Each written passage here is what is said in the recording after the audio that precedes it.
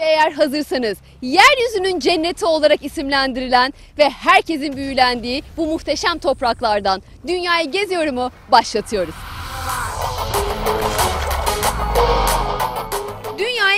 Ekibi olarak dünyanın en güzel köşelerini sizler için keşfetmeye devam ediyoruz.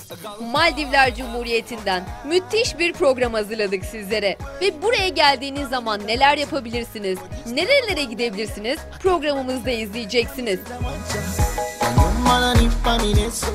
Ölmeden önce muhakkak görülmesi gereken cennet adaları olarak isimlendirilen bu müthiş coğrafyaya hayran kalacaksınız. Maldivler demek zengin bir sualtı coğrafyası demek. İşte bu sebeple bu zenginliği de getireceğiz evlerinize. Hint okyanusunun derinliklerinde yaşayan bin bir çeşit canlıyı sizlere göstereceğiz. Masal diyarındaki renkleri andıran turkuaz renkli sular dünyayı geziyorumdan yansıyacak.